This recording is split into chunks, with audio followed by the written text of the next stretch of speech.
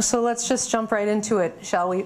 Mr. Porter, you talked about some um, ways in which you would support some consolidation. Can you talk a little bit more about that? Because, you know, I think all of us, I- how many people in the room are affiliated with a township or a township employee?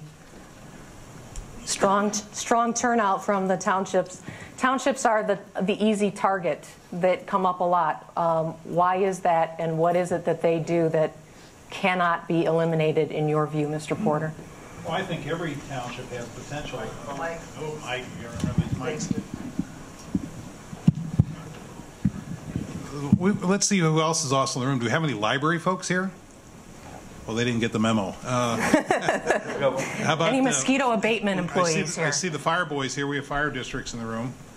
Anybody, any other units of government, just raise your hand if you belong to any other unit. How many here are just citizens, don't know belong to anybody? Excellent. That is excellent, thank you. That's where I believe the whole thing generates. Is the citizens of road districts, you know, technically road districts are a separate form of government, but everybody assumes they're part of the township. But citizens should drive the whole initiative of the dialogue. If there is complaints, and we had complaints in the school district issue in Lemont, citizens drove us to that point after this- the buzzwords come in. Buzzwords are easy, sound bites are easy. It's difficult to get into the meat until you have your open dialogue and do your research and find out what's going on. So I think citizen discussion is the first thing. River Forest decided to put a bill first and then have discussion second. I think that discussion now is going to be coming on like gangbusters. But you need to have the citizens' involvement, not necessarily the political agencies who's trying to upmanship or find budgetary resources uh, to, to better off their system. Do we really think the state should take over more controls over services in the state of Illinois with their culture? I don't think so. Well, but the, the bill proposed that we're discussing with River Forest is um, consolidating with the village or the municipality, correct? That's Not correct. the state. And so um, the- my initial question was about townships and what is it that they provide that cannot be provided by another government? Again, I think Chris, uh, Chris I can call him Chris, it's always Representative Welch, that sounds always so, but Chris is great. I think we have to review the statutory authority. I'm not even sure if River Forest is a home rule community. If you're home rule, maybe you can pull it off, but I don't think municipalities have general assistance authority, and that is a whole area that ha- it's a statutory requirement of townships to do that. I don't know if municipalities have the statutory authority to do assessment work. In DuPage County, you actually have to assess, the assessor has to do the assessment work. In Evanston, if that referendum passes, their intent is to just have somebody at the counter hand them a, an address where to call somebody at the Cook County level. God help them at that point. But so it, it, it really, and then the other area is, will the municipalities take on the services that are provided by the township and the road districts, especially the road districts? In DuPage County, and I'm not as familiar with that as I should, but there's 950 some miles by both agencies that they take care of. They have about the same number of employees. The difference in DuPage County is they're all unionized full-time and the townships aren't. The townships have to do JULIE searches and that exposure expense for anything. The county is not required to do that. The township road districts have to give upwards to half their budget to the local municipality when they levy because of state statute. The, the village uses it for whatever purposes they seem fit, or and I would hope it's in road districts. So if a road district wanted to buy a truck for fifty thousand dollars to plow roads, they have to come up with hundred thousand dollars because fifty percent of that right off the top is going to go to the municipality. In townships and counties are totally different in their plow services. Townships, on the most part, do subdivisions. We all, if you live unincorporated, you know what I mean, of the cul-de-sacs, the terrible nightness. Whereas the county is scheduled for four-lane roads and tandem driving. So they're totally different gear setups. Now, I guess if you merger, you steal all the township equipment and hope that you know it can work out. But I don't think economically it will. We'll discover if we actually have citizen discussion groups. It sounds great on paper, but I don't think it's going to work economically. Let- Okay. Representative Welch, why don't you weigh in here? Ju- In response to, to uh, Bob, just briefly, I want to say, because I filed a township-related bill, does not mean I'm against township government. You know, we're here about smart streamlining. I think we have to look at where is consolidation good? And remember at the outset, I talked about River Forest Township and the village having coterminous boundaries. That's the same thing that we had with Evanston. They had it with Cicero a few years ago. There's a lot of townships uh, in, the- in this area that serve 13, 14 municipalities. You know, I'm not talking about that type of township. Township government serves a good purpose, in my opinion. You know, when I got elected, one of the things I was told that you should go down to Springfield and do is protect the poor, protect the elderly, and protect our youth. And I think township government across the state, a lot of those townships are doing that. I think River Forest Township is doing that. So where did this idea come from? I think this For particular bill. bill is an, is an area where smart streamlining can occur. This is where, after the new mayor of River Forest was elected, as I always do, I reach out to my mayors. I sat down with her, and I talked about what, what her vision of River Forest was. And I shared some things that I wanted to do, and we, we saw commonality in, in uh, streamlining services. I talked to her about the Evanston bill that had recently passed, uh, and she liked that, and she encouraged me to keep uh, looking at that.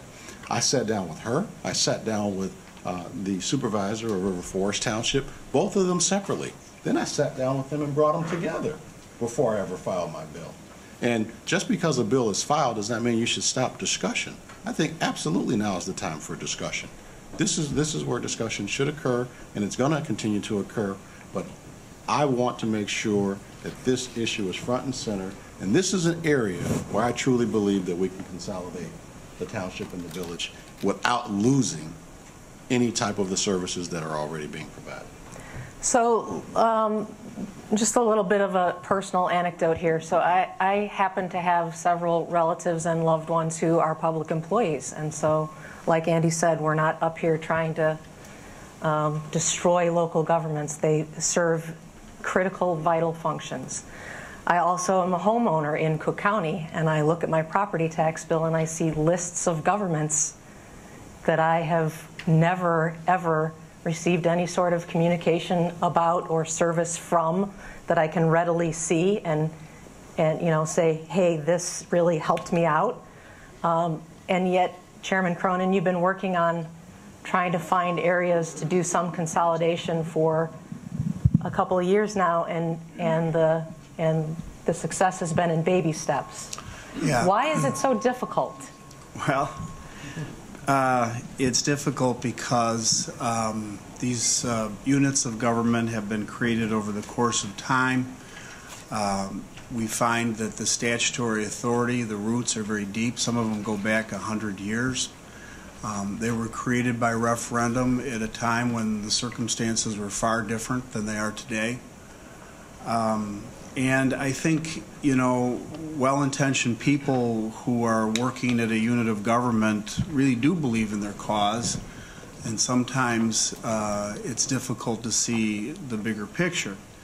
Um, you know, I know a lot of folks feel somewhat defensive, you know, when we talk about it, you know, the consolidation word, I, s- I just see it. You know, I've been in discussions with folks, they get all animated and their face turns red and veins pop out of their neck and they think that uh, I'm interested in doing something that approaches their own personal life and their livelihood. Look, we're elected public servants. We all serve the same community of taxpayers. Um, you know, some of the innuendo here about somebody who's interested in, you know, political attention or interested in, I, you know, I, I, I think that's a little irresponsible. I, I, what we're doing at the county, frankly, has really sort of diminished the influence of the county. We have handed over services to neighboring counties and neighboring local governments that have heretofore been uh, under the authority of the county in the interests of the taxpayers. Again, I'm not here to pat myself on the back about it, but I'm here to say, look, we all serve the same taxpayers, whether you're in township government, you're in the fire district, mosquito abatement district. Why don't we, and you said it yourself, Mr. Porter, why don't we engage in discussion? Why don't we have a real honest discussion about what it is we can do together? What are some commonalities? Where is some common ground? When the county, you know, highway uh, plow, truck plow driver is driving down the road and it's a county road, and he lifts up his plow because he's going over township roads, and then he puts it back down a couple miles down the road because he doesn't want to plow the road of the township because he wants to give the township guy something to do. We need to talk about that. And uh, look, it's nothing personal. I've been in this business now. Uh, I was 20 years in Spring- Springfield, and I'm- it's almost four years in my first term here. I don't have the patience uh, anymore. I, I, I want to get to real substantive issues, and I want to work with people who are genuinely interested in finding solutions. And I think, to our credit, all of us, I think there's been there's been a heightened awareness. I think it's partly because of the economy. People are hurting. A lot of people don't have jobs. You know, in the past, people didn't really care about the pensions and you know, you know, government workers, but now they pay attention a little bit more because they are having a hard time making ends meet. And so I think the economy has contracted, right? There's been a, a, a downsizing of the economy, and I think it's only logical that there be a downsizing of government. And I think it's our duty and responsibility to do it. I'm not afraid of it. I'll talk about anything. I respect people that are in public service. I think they're there to serve the public and to help improve people's lives. But you know what? Maybe there's a better model. Maybe there's a better way to do it. So it's about services, but we can't be married to the same structure because, you know, after all, you know, there's statutory authority for public assistance and the assessment authority, there's a statute for that. I want to find people to engage with that say, you know what, maybe we can do it. Maybe there is a way to get there and provide the services for less cost. That's where we should be here in 2014, I think, with all due respect. Mr. Porter, would you like to respond to that? He's hitting some of the marks. All right, excellent. We agree. Excellent. Um, So one of the things that you touched on, Mr. Porter, was um, road districts, and I'm sure after this winter, um, we'd all like our roads to be plowed. And uh, citizens might be a little up in arms if they weren't plowed in a timely fashion. Um, I'm coming at you, Mr. Costin, so be ready.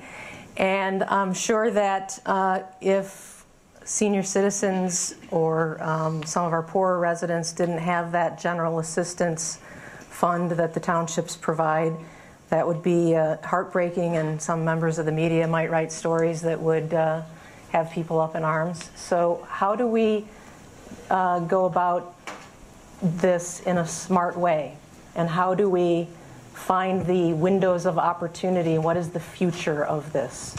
Absolutely, and I think that what's really key here is that uh, we have a competent government. There are th- certain things that townships do more competently and efficiently than municipalities, and vice versa.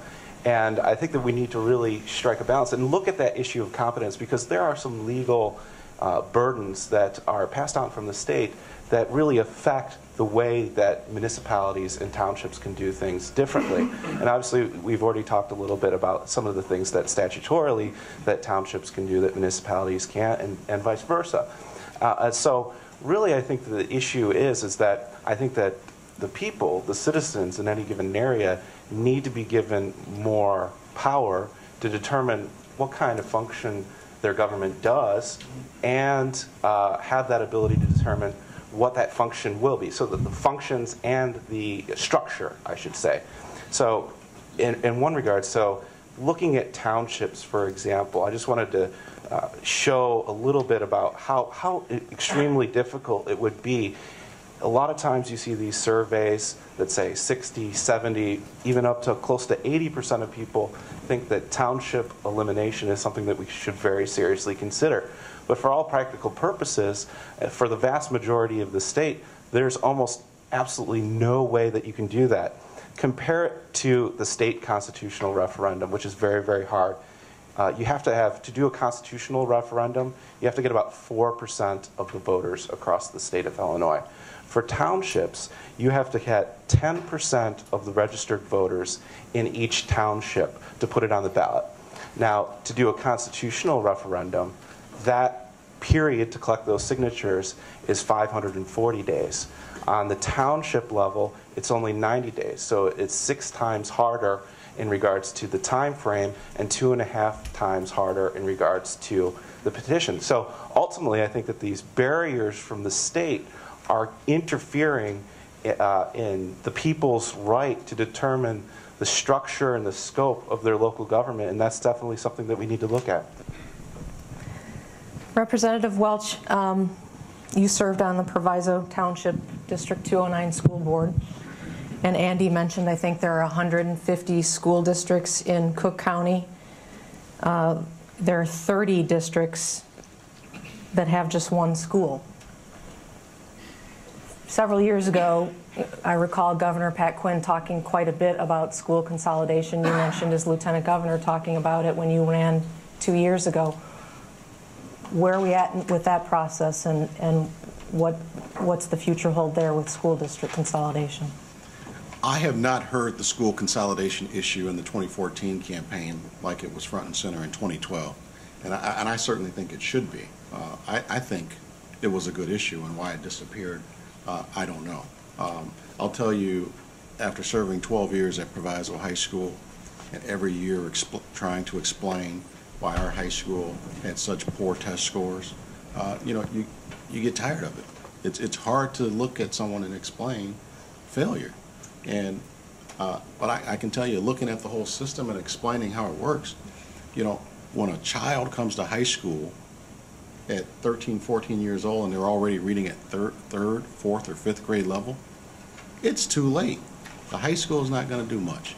So then you look at what are, where are those kids coming to Proviso? And Proviso has seven feeder elementary districts feeding one high school. They're coming from all over Proviso Township out of seven elected different school boards, seven elected boards that are doing seven elected things going into one high school. And a couple of those districts uh, are single school elementary districts. And so in 2012, out, hey, Proviso Township is a perfect example of where we can at least look and study this issue. I think that's an example of what's happening all across the state. And I, I don't ever think it's good to just be against something to be against something. I think that if we look at certain areas where it, it could be smart and a good idea to do it, we should. We should have the discussion about it. And, and I'd love for uh, the school consolidation issue to get back on the table. And Proviso is one example of why.